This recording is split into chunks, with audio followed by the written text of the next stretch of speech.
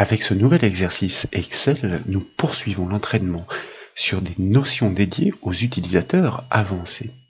Il consiste à calculer dynamiquement les primes allouées aux commerciaux. Ces primes dépendent des contraintes de référence inscrites dans un panneau de contrôle. C'est le chiffre d'affaires réalisé par le commercial qui doit déterminer le pourcentage à exploiter pour le calcul du montant à reverser.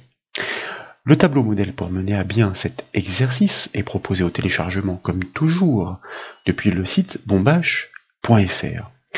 Ce classeur est constitué d'une feuille unique, elle est nommée calcul prime. Les commerciaux de l'entreprise sont recensés en colonne B entre les lignes 5 et 14. Sur la période, leur chiffre d'affaires respectif est renseigné dans la colonne voisine C. En colonne D, il s'agit donc de produire une formule dynamique déterminant la prime allouée pour chacun. Cette prime dépend du résultat obtenu pour chaque commercial. Un tableau de bord défini entre les colonnes F et G fixe les règles. Si le chiffre d'affaires réalisé est inférieur à 5000 euros, la prime doit être calculée sur la base d'un fixé à 2% à appliquer sur le chiffre d'affaires. Entre 5 000 et 10 000 euros, ce pourcentage s'élève à 8%. Et puis, ce taux s'envole à 11% dès lors que le chiffre d'affaires réalisé sur la période dépasse les 10 000 euros. Bien entendu, les contraintes comme les taux doivent être considérées pardon, comme des variables. Le fait de changer les valeurs du panneau de contrôle doit impliquer le recalcul automatique de toutes les primes. Cela signifie que les formules doivent faire référence à ces cellules de critères. Ainsi, nous pourrons livrer un modèle dynamique exploitable pour d'autres périodes et d'autres sociétés. Le suivi des nouveaux chiffres d'affaires conduira au calcul automatique des primes respectives en tenant compte des contraintes imposées par le panneau de référence propre à chaque entreprise. Le calcul de la prime en lui-même est trivial, il consiste à multiplier le chiffre d'affaires par le taux alloué. Il est donc soumis à des conditions, et qui dit calcul conditionnel, dit fonction si. La fonction Excel si permet d'engager une action lorsqu'un critère est vérifié, et une autre le cas échéant. Cette action peut bien entendu consister en un calcul. Le critère consiste à comparer donc le chiffre d'affaires du commercial avec les contraintes du panneau de contrôle. Par exemple, est-ce que le CA, c'est-à-dire la cellule C5, est inférieure ou égale à 5000 euros? En d'autres termes, la question posée est la suivante. Est-ce que le chiffre d'affaires est bien inférieur ou égal à 5000 euros Si la réponse est oui, alors nous engageons le deuxième paramètre de la fonction Excel-ci. Il consiste à calculer le montant de la prime sur la base des 2% correspondants, c'est-à-dire le chiffre d'affaires fois 2%. Dans le cas contraire, signifiant que le CA, chiffre d'affaires, est supérieur à 5000 euros, une autre action doit être engagée. Mais faute d'hypothèse suffisante, nous ne savons pas si nous devons exploiter les 8 ou les 11% pour le calcul. Une fonction si isolée ne permet de poser qu'une seule condition. Selon sa validation, elle ne permet d'engager que deux actions, soit vrai, soit faux. Le cas est donc plus complexe. Ici, d'autres critères doivent être analysés. Et même si depuis la version 2019 d'Excel, il existe une fonction pour simuler les si imbriqués, nous choisissons d'entreprendre la version classique, celle compatible avec toutes les versions d'Excel. Elle consiste à imbriquer des fonctions si manuellement pour analyser plusieurs critères envisageant tous les cas. Il est important de veiller à ce que chaque fonction si possède trois arguments malgré l'imbrication. L'ordre des conditions à satisfaire est important pour procéder par élimination. Nous devons commencer les comparaisons avec les valeurs les plus hautes. Le raisonnement devient donc le suivant. Si le chiffre d'affaires est supérieur ou égale à 10 000 euros, le calcul de la prime se base sur le taux à 11%. Sinon, si le chiffre d'affaires est supérieur ou égal à 5 000 euros, le calcul se base sur les 8%. Sinon, il doit exploiter un taux à 2%. L'opérateur compris entre ne s'exprime pas en effet dans la syntaxe Excel. Dans l'enchaînement, c'est le sinon-si qui permet de comprendre que la première condition n'est pas satisfaite quand dans le même temps, la seconde est vérifiée. Si le chiffre d'affaires n'est pas supérieur à 10 000 euros et qu'il est supérieur à 5 000 euros dans le même temps, il est donc nécessairement compris entre les deux valeurs. Le dernier sinon sous-entend qu'aucun critère n'est vérifié, nous en déduisons donc le dernier cas, celui du taux à 2%. Nous proposons de passer à la pratique en construisant la fonction multicritère. Et pour ce faire, je vous propose que nous sélectionnions la première prime à calculer, soit la cellule D5. Bien entendu, et comme toujours, nous débutons la syntaxe par le symbole égal. Et puis, nous saisissons le nom de la fonction conditionnelle, à savoir si, et nous ouvrons la parenthèse. Vous notez l'apparition immédiate d'une infobule. Sa vocation est de guider le concepteur afin de renseigner au mieux les trois paramètres requis. Le test logique, la valeur si vrai et la valeur si faux. En d'autres termes, il s'agit du critère de l'action à réaliser lorsque il est vérifié et de l'action à réaliser dans le cas contraire. Chacun est séparé du suivant par un point-virgule selon la syntaxe Excel. Donc, pour poser ce critère, je vous propose que nous cliquions sur le premier chiffre d'affaires à comparer de manière à intégrer sa référence C5 dans la syntaxe. Et puis, nous allons saisir l'opérateur supérieur suivi de l'opérateur égal, qui signifie donc supérieur ou égal, encore une fois, selon la syntaxe Excel. Et désormais, nous pouvons donc désigner la contrainte la plus haute, comme nous le disions dans le panneau de contrôle, pour intégrer sa référence F5 dans le calcul. Et dans la foulée, surtout, nous allons enfoncer la touche F4 du clavier, comme vous le savez, pour figer cette cellule. En effet, la, logique pardon, de cette formule est destinée à être reproduite sur les lignes du dessous chaque chiffre d'affaires.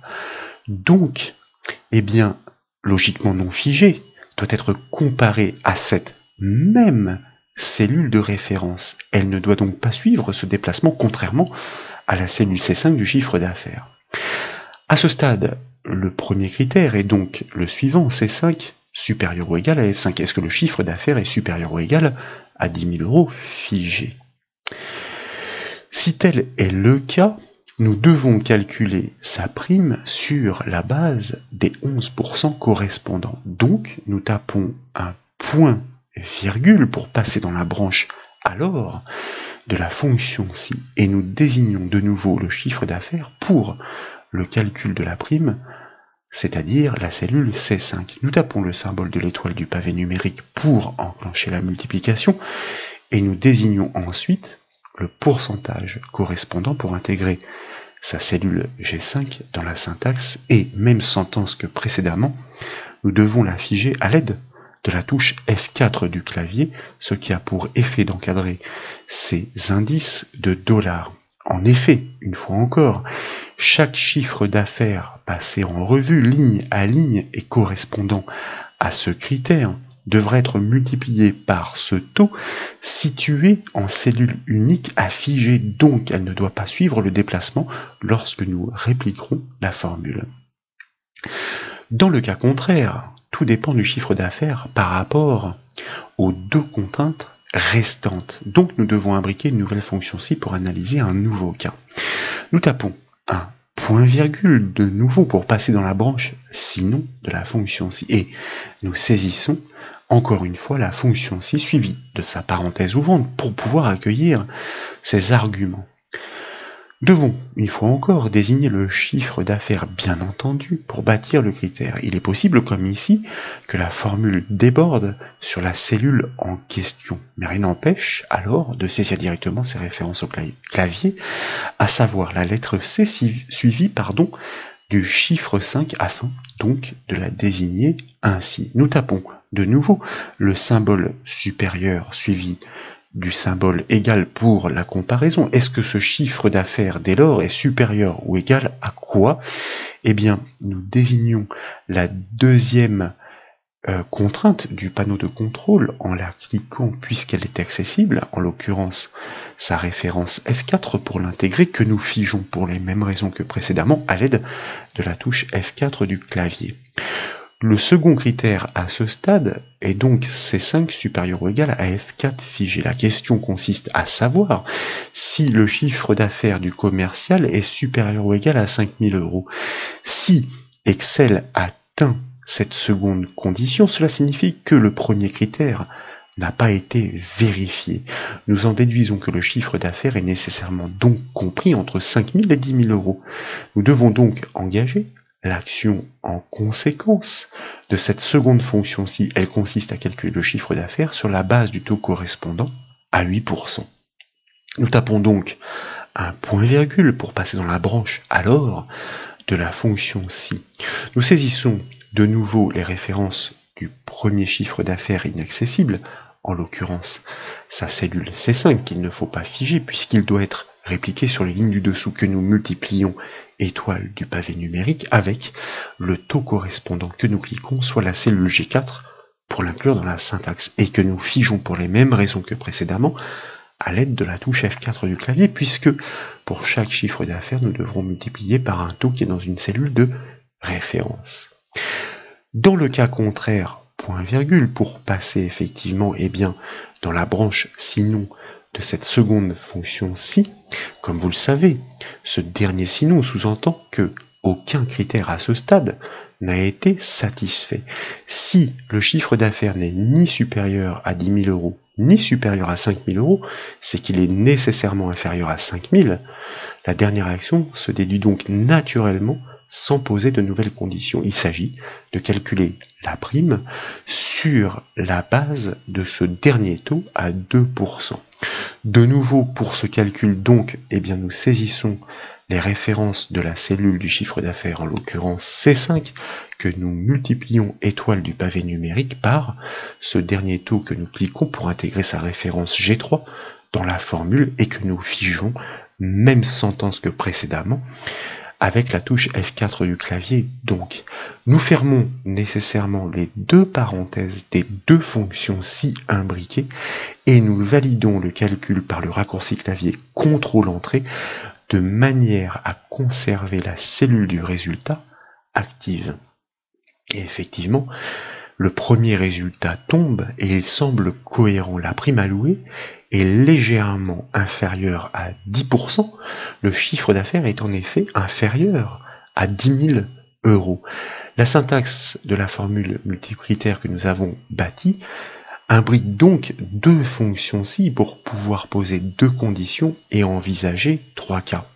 Elle est certes relativement complexe, elle met en jeu cette fameuse imbrication de fonctions ci, dans le même temps, elle fait appel aux références absolues judicieusement employées et que nous allons et grâce auxquelles nous allons pouvoir répliquer la logique de ce calcul. Pour cela, nous devons, comme vous le savez, exploiter la poignée de la cellule du résultat.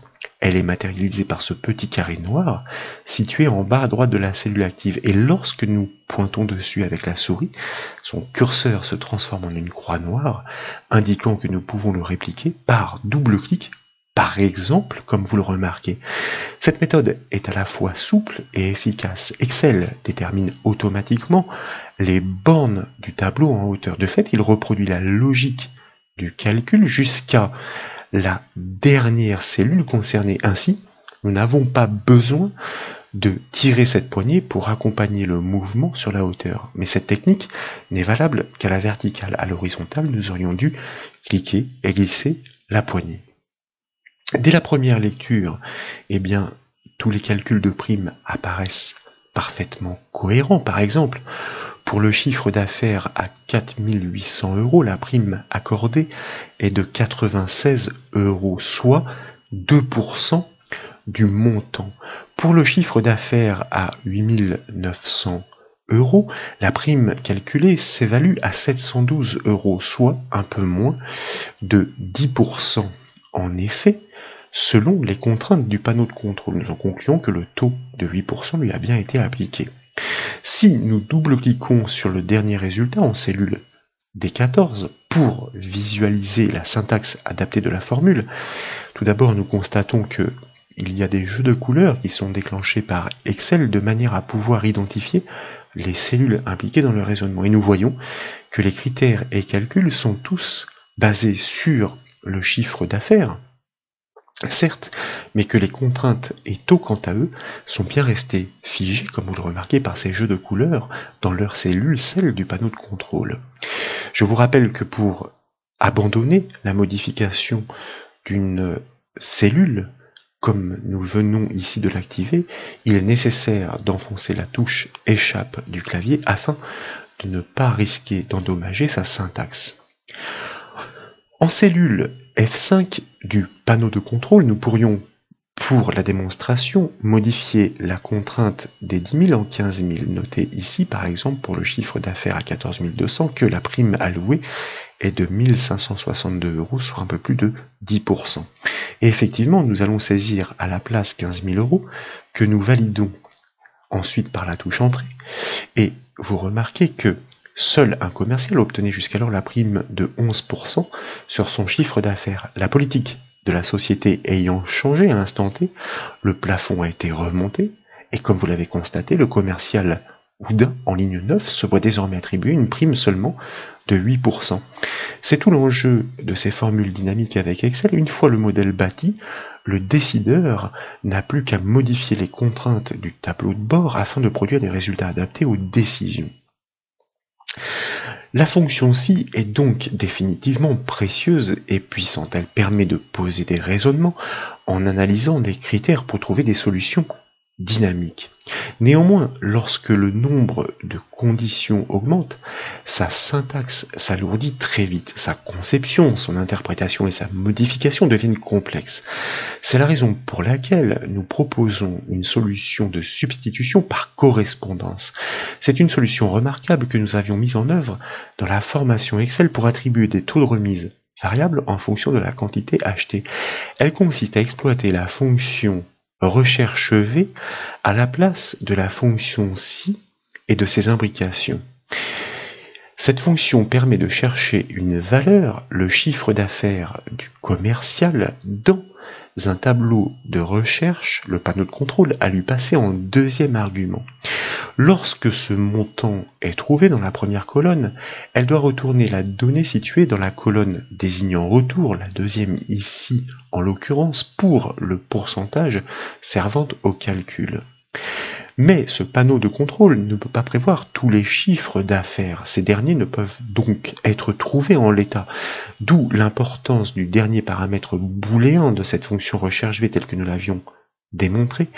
En le réglant sur vrai, nous allons indiquer à cette fonction de trouver la valeur inférieure au chiffre d'affaires directement la plus proche, disons.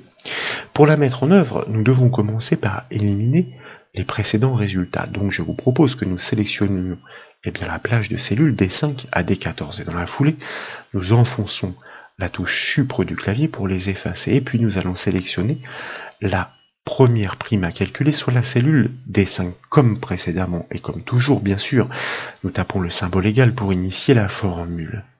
Nous saisissons ensuite le nom de cette fameuse fonction, à savoir en l'occurrence ici recherche V, V pour vertical je vous le rappelle, suivi d'une parenthèse ouvrante. Une fois la parenthèse ouverte, comme toujours, vous notez l'apparition de l'infobule indiquant les quatre paramètres à renseigner ce que nous venons d'expliciter. La valeur à chercher, le tableau de recherche, la colonne de retour et puis ce fameux booléen. Nous désignons donc la première prime, soit la cellule CSON pour indiquer la valeur à chercher, à trouver. Nous tapons un point virgule pour passer dans l'argument du tableau de recherche. Vous voyez qu'il est mentionné en gras instantanément en temps réel dans cette fameuse infobule. Et donc, nous sélectionnons dans la foulée ce tableau de recherche, ce panneau de contrôle, en cliquant et glissant la souris de F3 jusqu'à G5. Et dans la foulée, surtout, nous enfonçons la touche F4 du clavier pour figer cette plage de cellules. En effet, cette formule doit être répliquée sur les lignes du dessous. Ainsi, nous chercherons bien l'équivalence pour chaque chiffre d'affaires qui, lui, n'est pas figé, c'est 5. Mais cette équivalence doit être trouvée dans le panneau de contrôle dont les bornes ne changent pas. Nous tapons un point-virgule pour passer dans l'argument de la colonne de retour qui est désormais mentionnée en gras.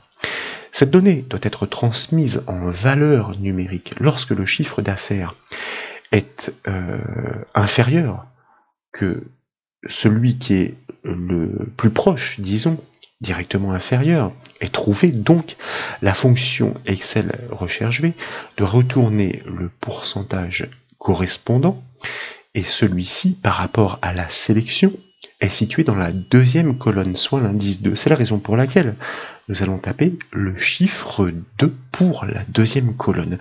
Et nous tapons un point-virgule pour passer dans l'argument de ce fameux booléen que nous allons, une fois n'est pas coutume, donc eh bien, renseigner par vrai pour demander à la fonction recherche V de réaliser une recherche selon une correspondance approximative et non une correspondance exacte puisqu'il s'agit de tranches ici.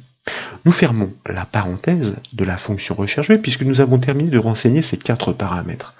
Mais à ce stade, le calcul n'est pas terminé. Nous retournons seulement le pourcentage de primes accordé et celui-ci doit être multiplié par le chiffre d'affaires comme précédemment. Donc, nous tapons le symbole de l'étoile du pavé numérique pour enclencher la modification. Et nous désignons de nouveau la cellule du chiffre d'affaires pour intégrer sa référence C5 de la syntaxe et à défaut, comme précédemment, donc nous saisissons ces références C suivi du chiffre 5. Nous validons cette fois la formule par le raccourci clavier CTRL entrée pour garder la cellule active, puis nous double-cliquons sur la poignée du résultat pour répliquer la logique sur la hauteur du tableau. Tous les calculs de primes sont livrés, ils sont parfaitement identiques aux précédents comme vous le remarquez, la syntaxe de la formule est cependant plus simple, d'autant qu'elle ne s'alourdira pas si le nombre de contraintes augmente. Dans le cas précédent, à chaque euh, nouveau critère, une nouvelle imbrication de fonction si serait nécessaire si nous ajoutions une tranche supérieure, 20 000, 25 000, etc. Une contrainte doit cependant être respectée pour mener à bien l'extraction par une recherche verticale. L'élément à trouver, en l'occurrence ici, le chiffre d'affaires doit nécessairement se situer dans la première colonne du tableau de recherche. Et c'est bien le cas ici. Les chiffres d'affaires correspondants sont placés dans la première rangée du panneau de contrôle. Si nous double-cliquons sur le dernier résultat, soit la cellule D14 comme précédemment, pour eh visualiser la syntaxe livrée, nous prouvons que la logique a parfaitement été adaptée. Cette recherche est réalisée dans un tableau aux bornes inamovibles, comme l'indique eh ce fond de couleur qui permet de l'identifier. Je vous propose que nous abandonnions cette modification encore une fois par la touche échappe pour des raisons de sécurité et dans la cellule F5 du panneau de contrôle, nous allons remplacer cette fois-ci pour restituer la valeur d'origine le plafond des 15 000 euros par 10 000 de manière à constater, normalement à validation, que nous devrions restituer exactement la même valeur, le même calcul de prime que précédemment. Vous voyez que c'est le cas. Désormais, euh, eh bien, l'actualisation d'une part est immédiate pour ce commercial Ouda, il se voit gratifié d'une prime calculée sur la base d'un taux à 11%, puisque maintenant son chiffre d'affaires dépasse de nouveau le, plafond que nous avons abaissé à 10 000 euros. Pour parfaire ce modèle à livrer et à exploiter, nous proposons de faire ressortir dynamiquement, dynamiquement pardon, les lignes du meilleur et du moins bon vendeur. Ces alertes visuelles sont régies par des règles de mise en forme conditionnelle. Les couleurs de fond à appliquer aux cellules à repérer doivent réagir en fonction des valeurs qu'elles portent. En d'autres termes, si les données évolue, les couleurs changent d'emplacement automatiquement. Ces réglages dynamiques sont précieux pour offrir une interprétation efficace des résultats dès la première lecture. Excel, comme vous le savez, offre des règles préconçues pour repérer dynamiquement les meilleures ou pires valeurs d'une plage désignée. Mais ici, nous souhaitons identifier la ligne complète du commercial. Nous devons donc créer une règle spécifique. C'est pourquoi, dans un premier temps, puisqu'il s'agit néanmoins d'un format certes spécifique, je vous propose de sélectionner toutes les cellules concernées, soit la plage de B5 à D14. Et puis, dans la section style du ruban accueil, comme il est de coutume, nous allons cliquer sur le bouton mise en forme conditionnelle, mais cette fois, puisqu'il s'agit d'une règle spécifique, nous allons choisir en bas de la liste Nouvelle règle. Et dans la boîte de dialogue qui suit, pour pouvoir créer cette syntaxe, ce critère, nous allons choisir le type, utiliser une formule pour déterminer pour quelle cellule le format sera appliqué. De fait, une zone de saisie pour ce critère apparaît. Nous cliquons à l'intérieur pour l'activer et nous tapons le symbole égal pour initier la syntaxe de la règle. Nous désignons le premier chiffre d'affaires pour intégrer sa référence C5 dans le critère. Cette cellule apparaît totalement figée, comme vous le constatez, automatiquement donc. Or, une règle de mise en forme conditionnelle résonne comme un calcul répliqué. Elle va passer en revue toutes les cellules dans l'ordre où elles ont été désignées. Et pour chaque ligne, nous devons vérifier si le chiffre d'affaires en cours est le plus grand dans sa colonne. Cette cellule doit donc pouvoir se déplacer en ligne, mais pas en colonne. Donc nous enfonçons deux fois de suite la touche F4 du clavier, ce qui a pour effet de conserver le dollar uniquement devant l'indice de colonne, le dollar devant le C. Nous tapons ensuite le symbole égal pour la comparaison à effectuer. Nous cherchons à savoir si ce chiffre est le plus grand de tous. Et comme vous le savez, c'est la fonction Excel max à appliquer sur la colonne des chiffres d'affaires qui permet de retourner la plus grande valeur. Donc, nous tapons le nom de la fonction suivi de sa parenthèse ouvrante pour pouvoir désigner la plage de cellules que nous sélectionnons pardon, dans la foulée, à savoir la plage qui va de C5 jusqu'à C14. Comme précédemment, celle-ci apparaît naturellement figée. Mais cette fois, c'est bien ce que nous souhaitons. Chaque chiffre d'affaires qui va se déplacer de ligne en ligne doit être comparé à la valeur la plus grande, à rechercher dans cette plage inamovible. Ces bornes ne doivent donc pas se déplacer.